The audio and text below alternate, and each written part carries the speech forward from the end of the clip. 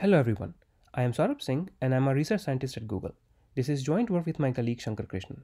I will be talking about our work on a new normalization layer that eliminates the dependence on batch sizes. Normalization methods improve training by stabilizing activations in a model. This leads to a better conditioned optimization problem, enabling reliable training of deeper and more powerful models, as well as training with higher learning rates resulting in faster training. Let's take a closer look at key aspects of batch normalization.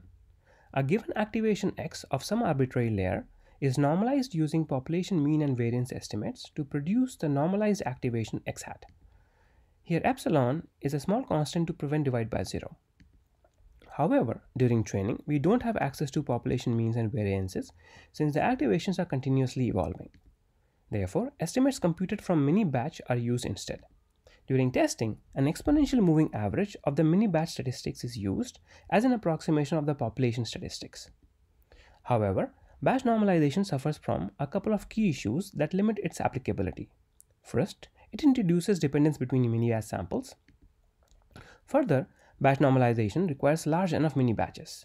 This makes it unsuitable for tasks needing large input sizes. In this visualization, we quantify the effect of batch size on the performance of batch normalization. We plot the ImageNet accuracy of a ResNet v2 model as a function of the number of images used to compute the normalization statistics. The performance degrades significantly as the batch size is reduced. Coming back, these limitations can be attributed to the computation of normalization statistics over stochastic mini batches.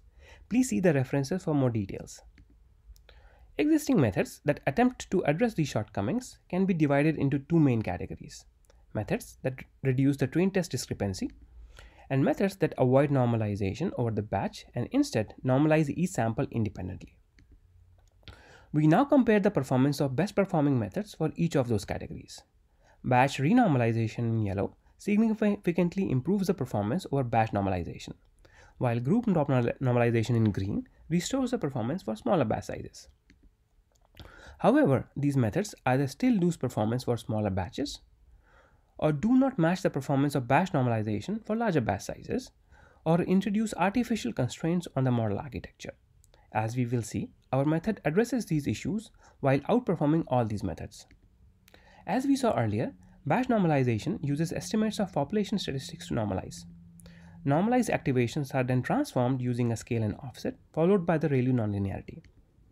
In contrast, sample-based normalization methods get rid of the problematic batch dimension and use statistics computed from the sample itself. Note that the equations are essentially the same, with the only difference in the set of activations over which the normalization statistics are computed. We argue that this specific form is just a legacy of batch normalization and doesn't necessarily make sense for sample-based methods. As a pathological example, consider a 1 cross 1 feature map. Naive application of this normalization will simply yield 0. With FRN, we revisit this form, especially with these pathological cases in mind. FRN is a sample-based normalization method that normalizes each channel independently like batch norm, but with several key changes. It does not perform any mean subtraction. Normalization is performed using uncentered second moment, and epsilon is turned into a learnable parameter. This is necessary to deal with pathological cases of 1 cross 1 activation maps. Please refer to the paper for more details. Finally, since lack of mean subtraction may result in, in an arbitrary bias away from zero, a learnable threshold is used to by ReLU to yield a new activation TLU. Coming back to our graph, we see that FRN gets rid of all the earlier mentioned issues. It retains performance for the small batch sizes and outperforms all the methods for at all batch sizes. There are a few key practical considerations that we found to be useful to effectively train models using FRN layer. Final performance benefited from continuous learning rate schedules such as cosine decay. Slowly ramping up of the learning rate at the beginning of the training was essential for many non-resident models. And lastly, we found it useful to replace all activations in the model by TLU as opposed to just the ones following normalization.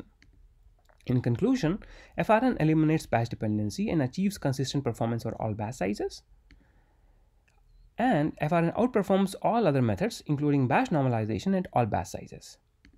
Thank you for listening and please refer to the paper for additional experiments and details.